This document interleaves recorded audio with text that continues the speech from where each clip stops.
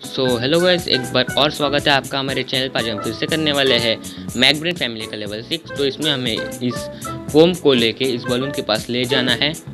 और नैन्सी के जैसी उसकी मम्मी कर रही है, वैसे उसको मूव करना है, उसके हाथ पे क्लिक करके।